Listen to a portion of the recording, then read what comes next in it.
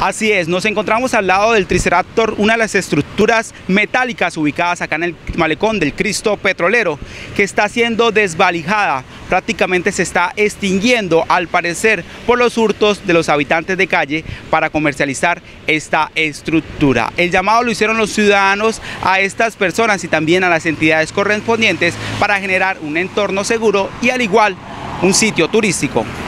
Lo que pasa es que la estructura metálica está hecha varilla por varilla. Sí, eso fue concebida así por los que la montaron.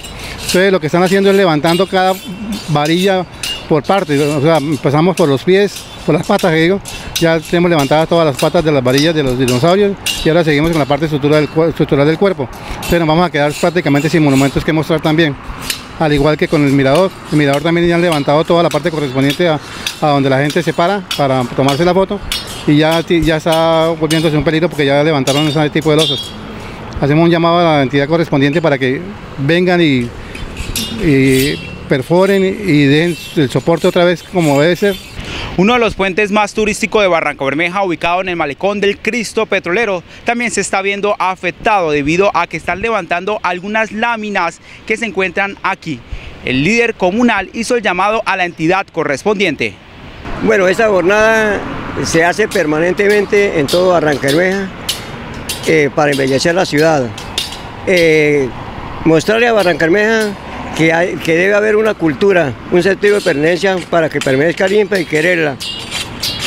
Eh, eso es entornos seguros, para eso se creó la oficina.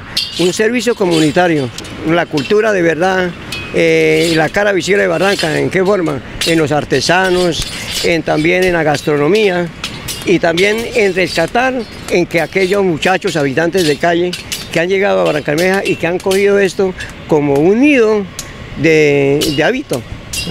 Eh, entonces, de todo eso nosotros eh, estamos eh, tratando de recuperarlo. Poco a poco vamos recuperando también los hurtos.